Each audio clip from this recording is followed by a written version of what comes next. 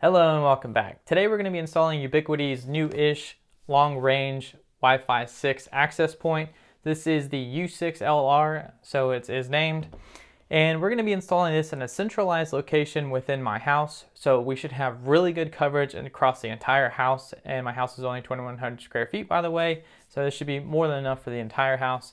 And we'll actually be taking down the Ubiquiti AC Pro that I currently have installed because I'll really no longer need it once I get this up. And so without any further waiting, let's go ahead and jump right on in. So I'm not gonna do a full review of this. If you guys want to see a review of this actual device, I'd recommend checking out Mactelecom Networks. I'll leave a link in the description so you can watch that YouTube video where Cody does a review of this actual unit. And he goes into pretty good detail, pretty much explaining everything you guys are gonna wanna know about this thing. Uh, but I will cover some of the basics, uh, the things that are important to me, and the reason why we are moving to this. Uh, so there's not too much in the box. It's got a plastic covering. It does not look like this. It scared me when I first saw it. And here it is. This is a, a fairly hefty unit.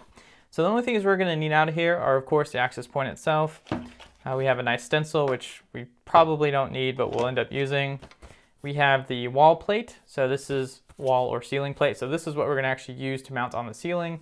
And um, this is the bracket that goes on the back of the unit so we can mount it to the plate. Or at least I think it is. Okay, on second thought, I actually don't know what this is for, but we'll read the instructions and actually find out because I'm gonna have to do that this time. Um, and let's see what else is in here. There is I think if this is anything like Ubiquiti switches they offer, this will be where all of the screws and other like hardware, yep, that's exactly what it is. Uh, wow, okay, pretty cool. So it looks like we've got everything we need to actually mount this thing uh, to the ceiling, which is perfect. I hate when manufacturers don't include like a bare minimum set of things.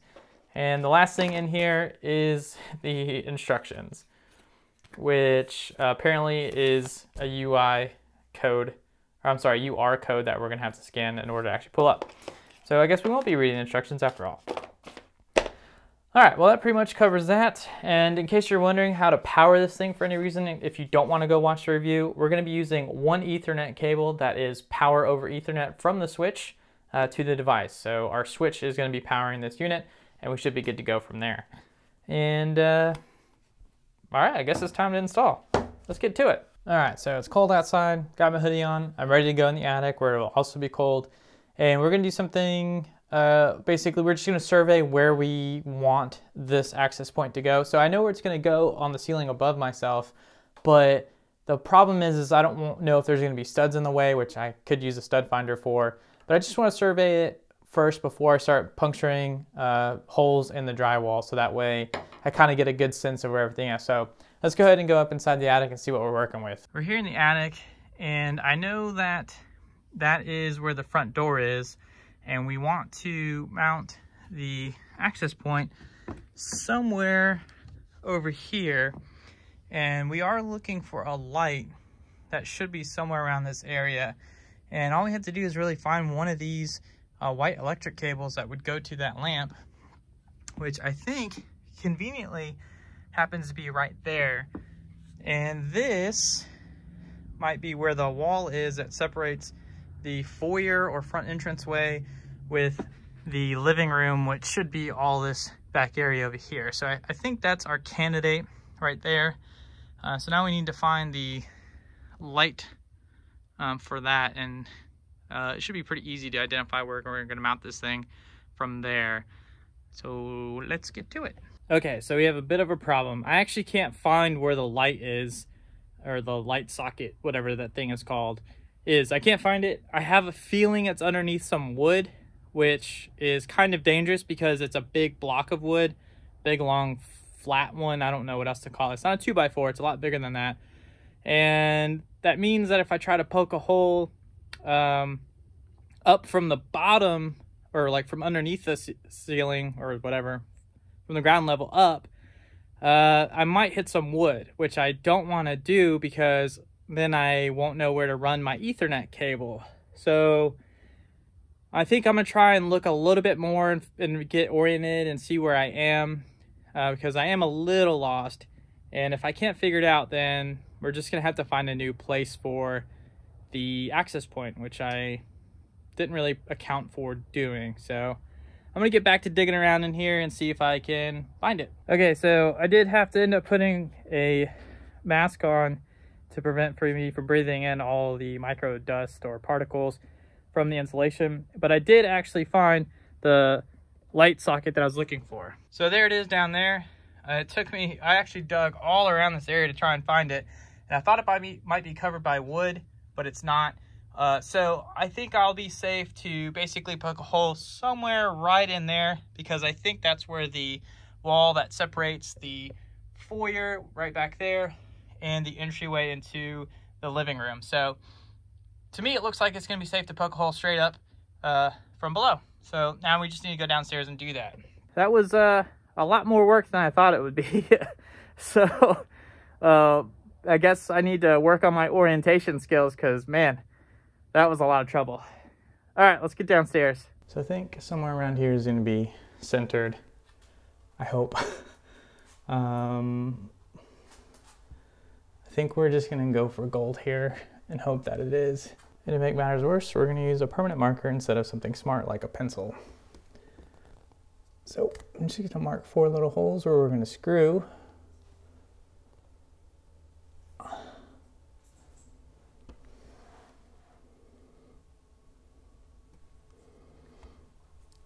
All right, in case you're wondering uh, which screw holes I'm using, I'm using A.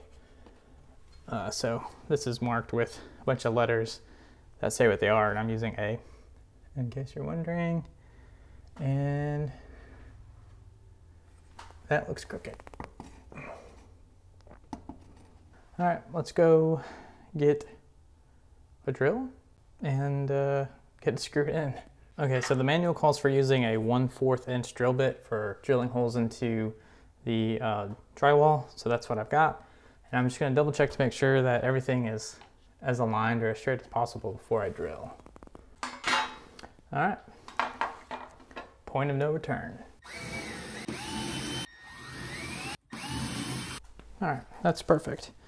Um, now we need a 1 16th for our ethernet cable, which I need to mark down too. Okay, so earlier I think I lied and I said 1 16th. I actually meant to say 11 16th for the ethernet cable. So that's what I'm gonna drill right now is 11 16th, not 1 16th.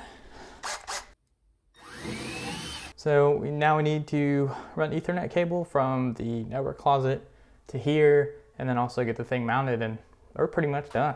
All right, so now we're gonna run our monoprice Cat6 cable up from the server closet and into the attic and then down to the access point. I've covered this a few times in the past where I've run uh, ethernet cable down into the network closet, which is right below here. So if you guys wanna check out that video, uh, be sure to check the link for that. And this is the fish tape I'm using. This is Klein Tools uh, extracting and retracting tape. Uh, this has worked really well for me in the past and that's what we're going to use to fish down uh, into the network closet and pull up our ethernet cable. So just going to run this down and collect it from downstairs when we get there. All right, I think that is about long enough and as far as it's gonna go. So let's get in the network closet and see if we can fish it out from behind the wall. Just to give you guys an idea of what I was talking about earlier, here's a light that is just outside of the foyer and sort of part of the living room. And over here is where we made all the holes for our access point to mount it into the ceiling. Back downstairs from the attic, and here's the fish tape that we just ran down the wall into the network closet. As you can see, uh, it was pretty simple to do. Now I just need to take the ethernet cable and use some black electrical tape to tape it around the fish tape. And then we're gonna pull that back up into the attic uh, through this hole here in the panel, which will be really easy to do. Nobody tells you how many times you gotta walk up and down or climb up and down the ladder. But for me, this is like my sixth or seventh time. Uh, I, I kind of lost count. Also, I wasn't really counting, but it's been more times than I like to admit, for sure. Let's get this done. All right, see where that light is? That is where the network closet light is. And we're just gonna pull that network cable up and we should be good to go. All right, here we go. See, that was easy. Now we're just gonna go from here to basically just under where that light is. I know it's kind of hard to see from here, but we just need to get back over there. And that's probably about six, seven feet. It's not too far. All right, there we go. So cable is through the drywall and I just ran it all along there back to the server closet. So I think I'm pretty much done. I just need to clean up now and uh, make the cable. And so we barely have enough cable. That was barely enough. Man, that was too close for comfort. Here's a tool I always use for stripping and crimping my ethernet cables from Klein Tools. It's pretty awesome and I love it. Uh, we're also going to be following the T568 Bravo wiring instructions you see here on both ends of the cable because that matters. And then we'll be using the Klein Tools RJ45 Ethernet jack uh, as well. And uh, yeah, we're just gonna get up there and finish the job. By the way, uh, links in the video description below for both. We got our Ethernet cable run and installed here in the patch panel. So we're just gonna use the signature blue cable to identify that this is power over Ethernet. And we're gonna just plug it in here. And once we get the access point installed, that should light up. So time to do the access point stuff. All right, so if we did this all correctly, it should light up almost immediately and also have data, but that's not something we're gonna know until after we get hooked up. And it lit up, so that's one good sign. Let's get this thing mounted and uh, configured. And that looks pretty lined up to me.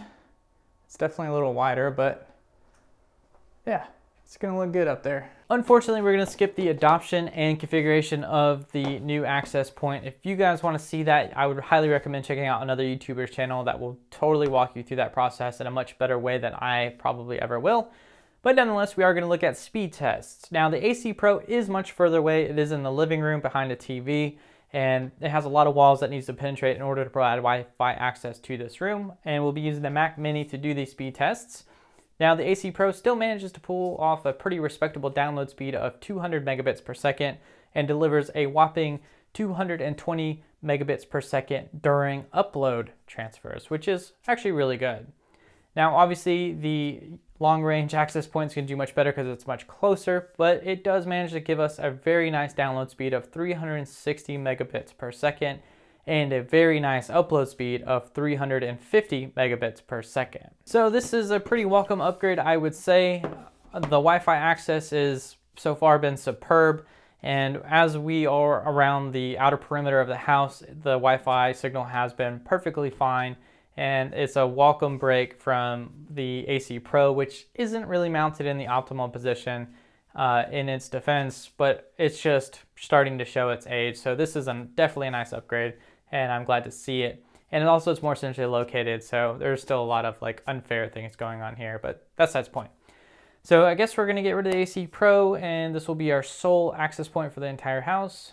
And I don't really know what else there is to tell you guys about this uh, in general. Just go check out some other YouTube channels out there. I'm sure they'll have tons of information for you.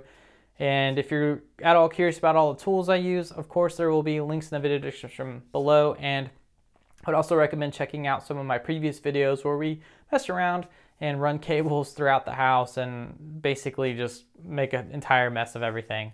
Uh, so with that, I want to thank you all for watching and I will see you next time.